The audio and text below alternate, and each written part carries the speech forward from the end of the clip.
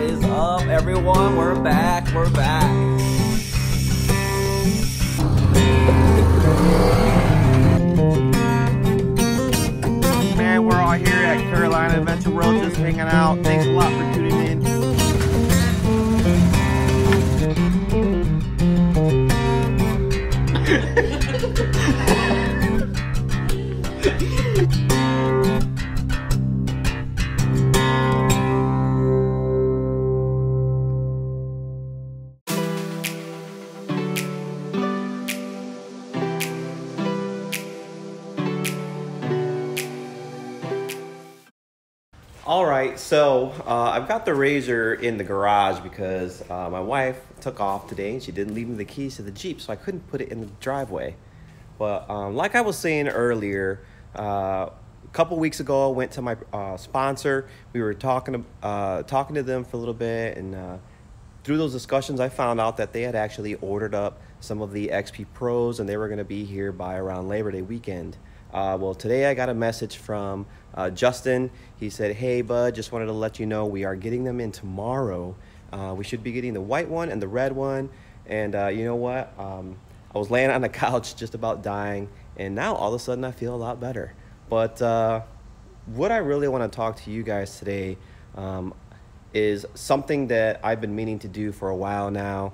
Um, it's kind of something that you don't want to talk about, and I think almost every guy who's had a RZR or side by side or whatever the case may be that's done upgrades or even on a truck or a car, whatever the case uh, is, they've had regrets, you know, about some of the upgrades that they've done and uh, kind of probably thought that they should have done this or should have done that as opposed to what they actually did. And uh, that's what we're going to look at today because I have some serious regrets on the uh, modifications that I've done on mine. So why don't we just stop talking about it and get right into everything that uh, I've been wanting to share with you guys for quite a while now. All right, well, first things first, uh, the main reason why I'm making this video is because of the new RZR that's coming out. Um, you know, I've gotten some mixed responses from what people think it's gonna be, how it looks, what it's gonna perform like. And I, for fun, uh, excuse me, I, for one, really feel like it is the new, uh, it, it is the RZR of the future, um, right? So uh, Cody and I are a little bit split on this. Um, my opinion is that this is going to be the car that takes us into 2020 and beyond. He thinks that it's kind of a step backwards in the way that it looks. Um, there's no doubt that it's going to perform. Um, I've watched a couple of videos of it online, uh, been able to kind of diagnose what people think of it, the ones who are actually behind the seat, um, pushing the throttle, making the tight turns, things of that nature. Um, and so I think they're going to sell like hotcakes when they hit the lots. Um, and in that, everybody knows that it's super rare when you buy a unit and you just kind of keep it as is for a long, long time. I think uh, a lot of folks, they get into these cars, they drive them stock, and then they immediately realize, boom, like that, like these are the upgrades I really want to do on my RZR. Well, um, that's the intent of this video. I am going to walk you through some of the things that I did, uh, things that I am glad that I did, things that I am not so glad that I did, and where I put my money. And I'm going to give you some price tags too on some of these things that I did to the car. And that way you'll kind of have a good idea of maybe you just bought something or you've been wanting to do a lot of upgrades or you're the type of person that likes to do all your upgrades at once, which is kind of like uh, how I am. Um, so maybe this will help you out in that nature and give you kind of some pointers and some do's and uh, don't do's. So let's just go ahead and start with the top three upgrades I really wish that I did before I let you all know um, what types of upgrades I have currently on this car. You can probably already start to see some, but um, a lot of my money that I put into this car were into my seats. Now, those seats are beautiful. They are Corbeau seats. Um, they're not very well known in the UTV side-by-side -side industry. Um, but these are actually UTV seats. If you go onto the Corbeau website, you will see that they have a very specific category just for their off-road seats. Um, you're gonna see most of these types of things in their uh, sports car, race car segment. Um, but if you look at the details in these things, they are just absolutely beautiful.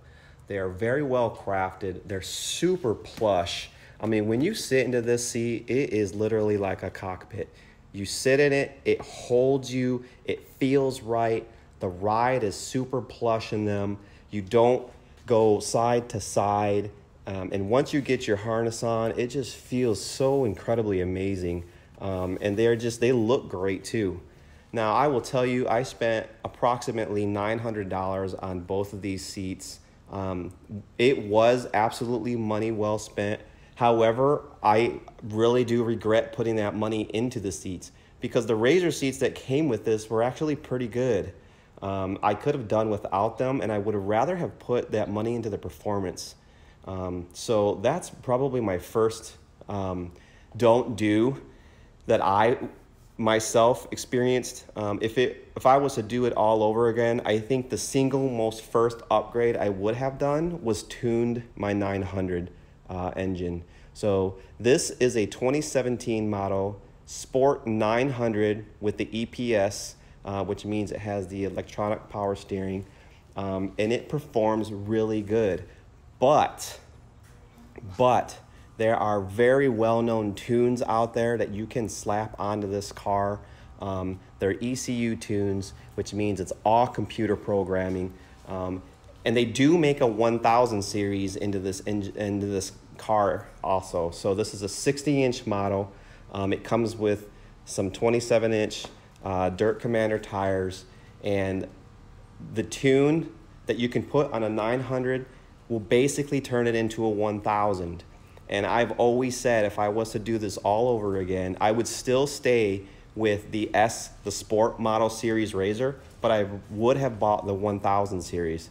Now, why I didn't put that money into the tune beforehand was because I went to two uh, very good tune websites. I called the individuals themselves, and the, I went to Evolution Power Sports and I went to Bikeman Performance.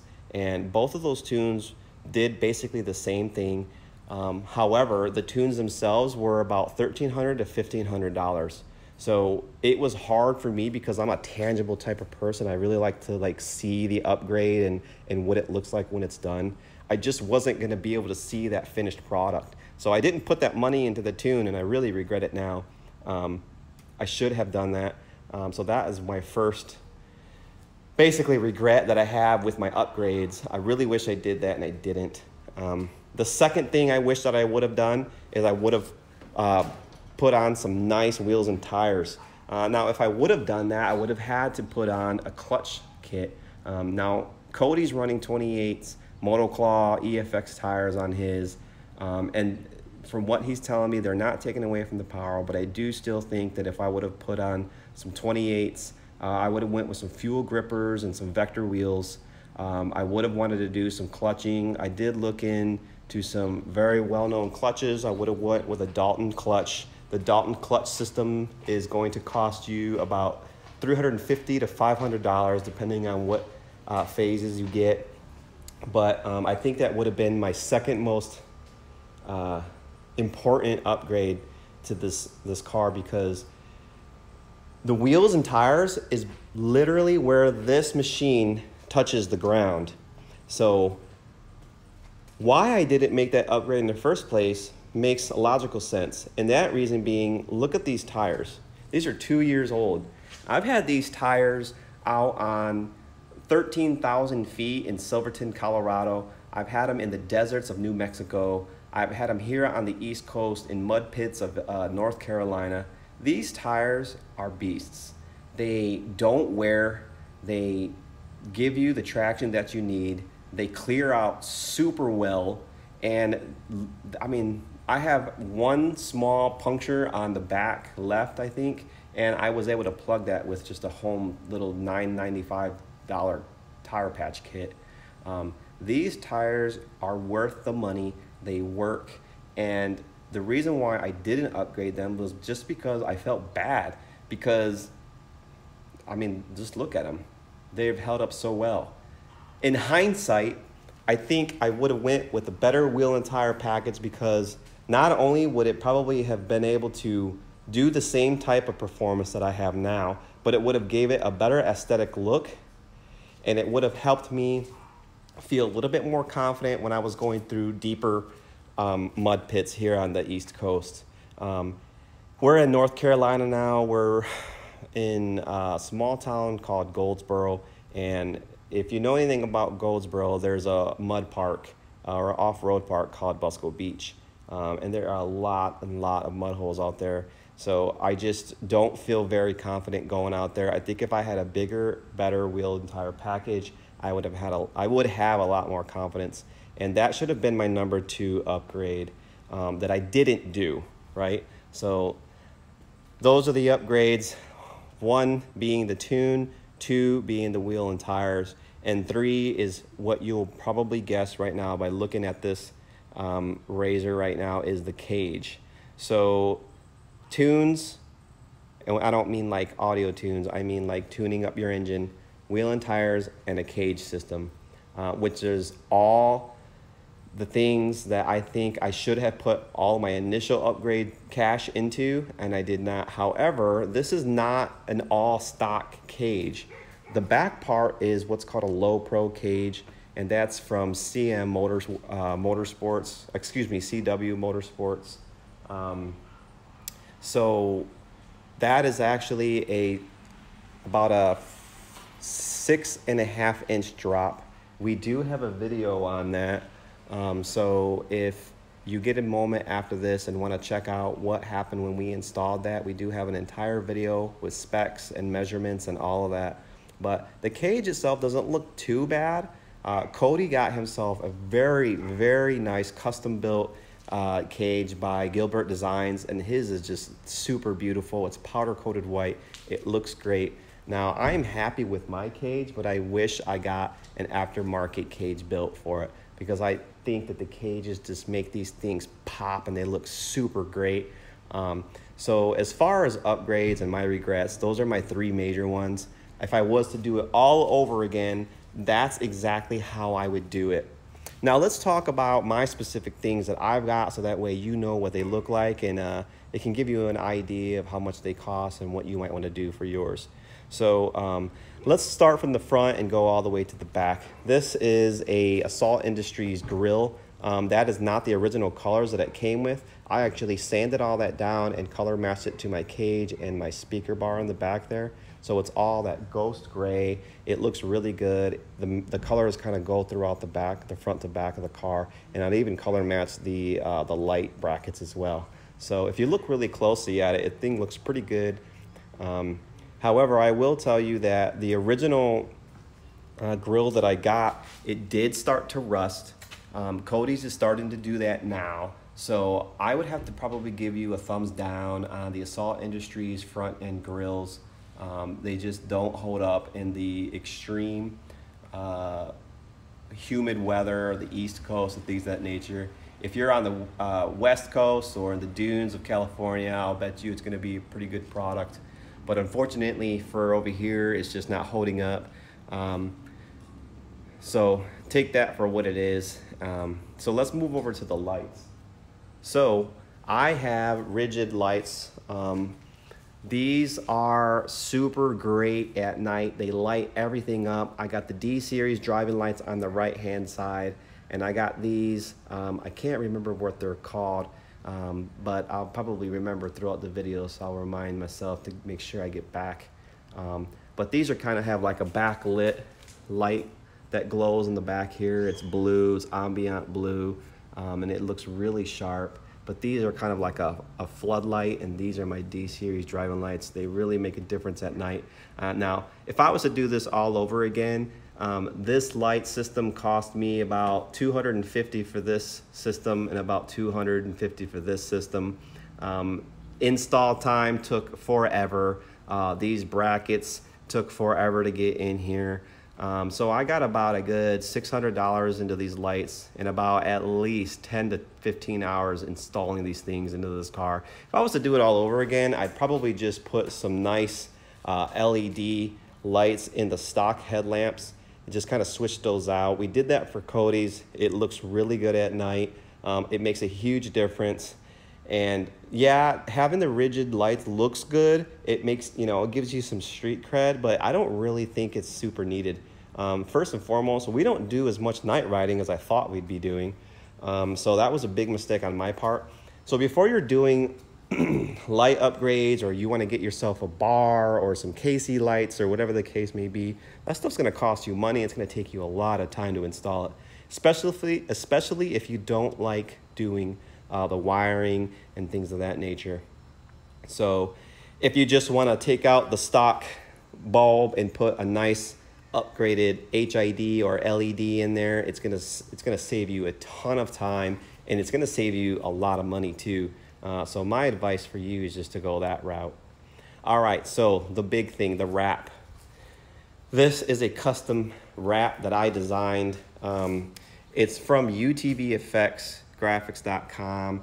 Um, I would not buy from them again only because uh, I had an issue with uh, a wreck that I had and wanted to replace parts of this wrap. So when I contacted them later on after having already installed it, they told me that they weren't able to uh, mimic the wrap again because they upgraded their printers.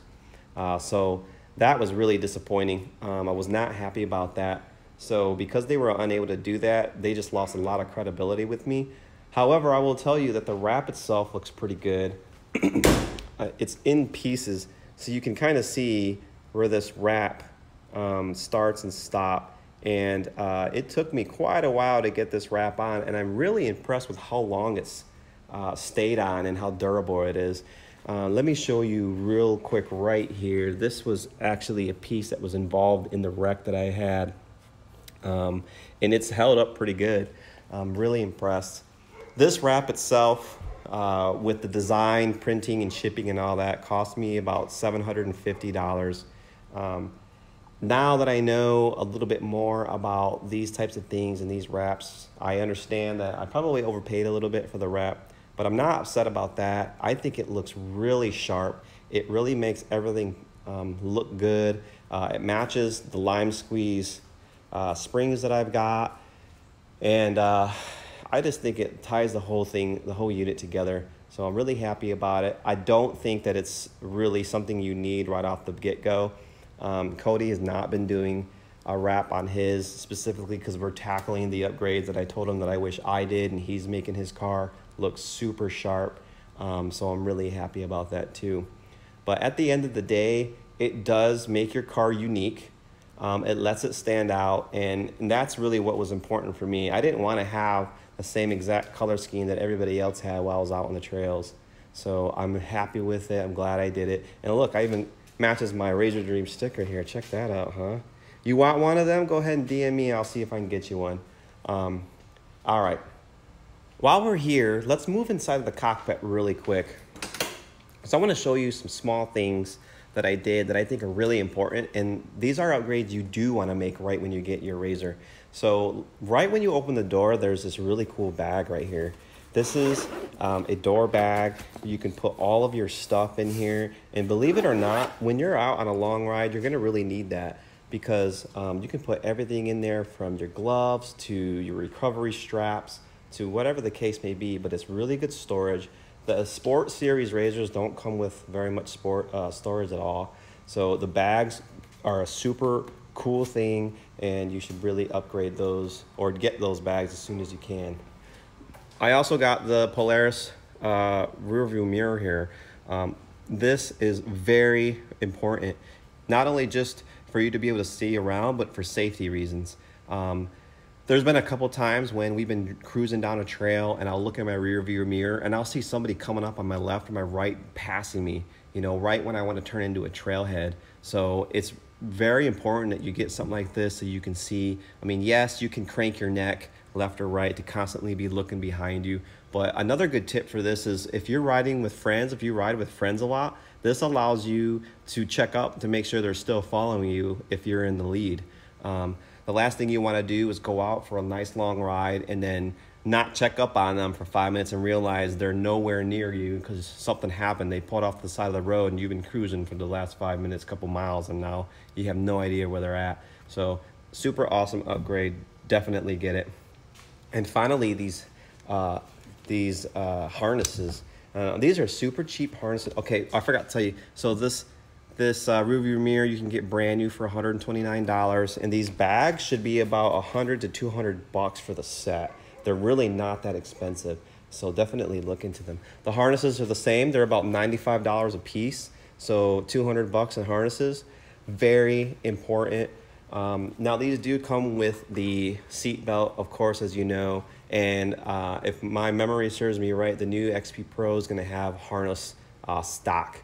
So, um, like I said before, I did wreck my RZR once. Um, my harnesses kept me in my seat and in the car, and man, did they do the job.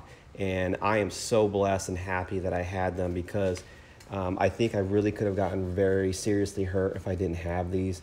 Um, they work very well, um, and I highly recommend that also being a first upgrade that you do um, is pull out that stock seatbelt, put in a nice set of harnesses because they are a lifesaver. While we're in here, let's talk about another upgrade that I did that I have major regrets on, um, and that's the sound bar. I can't tell you how dissatisfied I am with this sound bar. Um, now, this is a Boss 14 inch sound system um, the only thing that I really love about it is this control module. So I've got this control module down here. It's all Bluetooth. Um, it works really well. It connects right into the system and as soon as I turn on my RZR, this thing turns on and it connects right to my phone so I can play my music from my phone. So this is really good, but the sound and the level of sound that comes out of this is just not very, uh, not satisfying whatsoever. Um, I've ran this soundbar. I've also had another soundbar that we did on our Ranger build. Um, that's another video. So if you're new to our channel um, and you get an opportunity, go ahead and look for our Ranger XP 1000 build. I put another soundbar in that, and I will tell you, neither one of these soundbars are satisfying. Um, I mean, it'll do the job if you're just putting around, but if you're really going out to have a good time, you're gonna have a couple drinks, you're gonna go out and, and just kind of blare some tunes and get your mind off the world. Um, this is not gonna do it. So if I was to do it all over again, I'd probably put a little bit more money into some sound cannons. Um, I got this whole bar right here. I could easily mount two to four sound cannons on here. Now that means it's gonna really block my rear view mirror angle, viewing angle, so it's really gonna hinder that. But if that's the case and you want to do, I mean, you could put one right here firing this way, two more here firing underneath, right? And then one firing above the passenger seat. And that would sound just incredibly amazing. Um, that's probably going to be what I do. I'm not sure when I'm going to do it, but it needs to be done um, for sure. Finally, while we're in this general area is the roof. Now the roof is really good. Let me see if I can jump up on my tire here. I love my roof. It's got this small little, uh, kind of like a, a, skylight view here where you can kind of look up and check out the clouds while you're cruising around. But um, this is most important when you're out doing a lot of desert riding, keep that sun off you. Um, and it's important out here on the East Coast too. But um, this roof itself is about 450 bucks. So, I mean, God, that's a lot of money. Now, looking back in hindsight, I'm like, Jesus, why did I pay that much money for this roof? Um, you could go with some real cheap knockoff roofs that will probably cost you about $129 to 200 250 bucks. Um, but it looks good. All the graphics match the RZR. It's got the same exact color scheme. If you look at the colors, um, this color very closely matches that color. Um, so I think it really just ties everything in. Um, so, but not really um, regretting this roof system at all. We're still using it. Um, if you look up there, you can see all the damage from my uh, wreck that I had when we were at Carolina Adventure World. Uh, we also have a video on that, so you get a chance to check that one out too. But um, the wreck isn't on the video, but we do have a video of that trip. It was a great trip.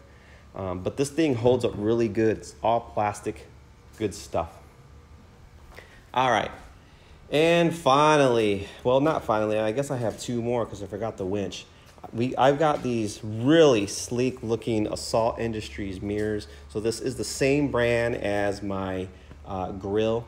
These mirrors are very well constructed. They're overpriced, but they look sharp and they do perform how you need them to perform. So as with any rear view mirror, you adjust them, they stay tucked in, and they give you a really good sight of down the line right behind you in this general area so that you can see people coming up behind you.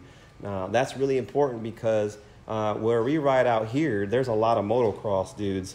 And um, let's just face it, you get in a wreck with one of those, they're going to be more hurt than you are. Um, but this is a really good safety feature and it really looks sharp too. Um, I think I paid about 300 to $350 for these mirrors. And like I said, overpriced. Probably shouldn't have done it. But now that I have them, I'm glad I do.